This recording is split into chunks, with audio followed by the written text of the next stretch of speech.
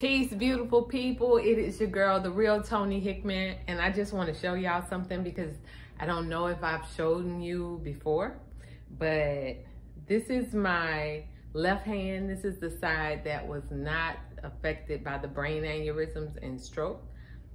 And this is my right hand that I can now completely open, pinky up, everything. Um, which is a big accomplishment. Only my stroke survivors or brain injury survivors will really understand this. But yeah, at first when I would open this hand, I could open it and these two fingers would stay down.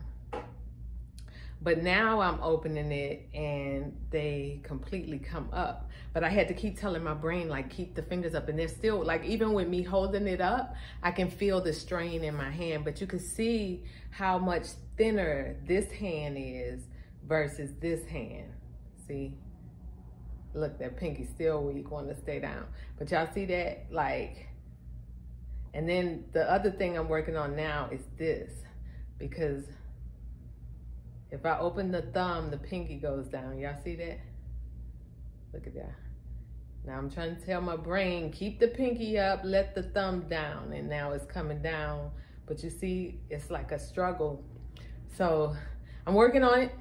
I'm working on it. I'm working on it. But yeah, that's my process. I have successfully been able to open all fingers